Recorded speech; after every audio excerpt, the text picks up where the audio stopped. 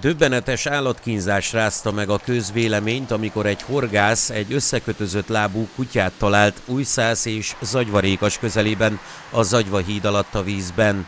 Az ebet nagy valószínűséggel élve dobták a folyóba, nyakára még súlyokat, két hatalmas követ is rakott az elkövető. Messziről úgy tűnt, hogy a kutyát valamivel lesúlyozták, illetve a hátsó lábait összekötözték, ezt mikor a tetemet kihúztuk a vízből, sajnos ez a tény beigazolódott. Valóban kettő darab beton volt a kutya nyakára erősítve egy vékony madzaggal, hátsó lábait pedig szorosan összekötözték, és mi így tudtuk kihúzni az állatot a folyóból. Feltételezzük azt is, hogy a, az állat a fulladásban pusztulhatott el, és a tetem felelhetőségi helyéből pedig azt feltételezhetjük, hogy a kutyát még élve dobták be a folyóba, valószínű a Zagyva hídról.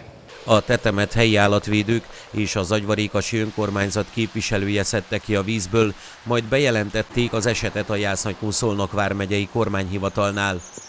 Nagyon meglepett minket is ez az eset, nagyon megdöbbentünk.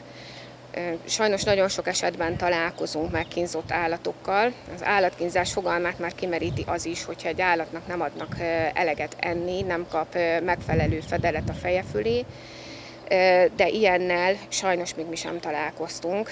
Úgyhogy én úgy gondolom, hogy az egész települést is megrázta ez az egész eset. Sajnos valószínű, hogy nem lesz elkövetője, ha csak nem jelentkezik valaki, aki szemtanúja volt a történteknek mert az legelső az volt, amikor a tetemet kihúztuk a vízből, hogy azonnal csipet kerestünk, két csip olvasóval is ellenőriztük a tetemet, de sajnos nem találtunk benne transpondert, így ugye a gazdájától sem tudunk esetlegesen segítséget kérni. Azóta a rendőrség is megindította a nyomozást az ügyben.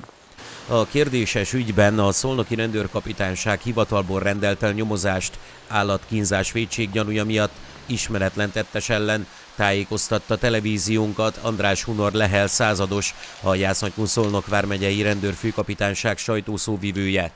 Mint azt a rendőrségtől korábban megtudtuk, amennyiben a cselekménynek vannak minősítő körülményei, például ha az állatkínzást az állat különös szenvedést okozva követik el, akkor az elkövető három vagy akár öt évig terjedő szabadságvesztéssel is sújtható.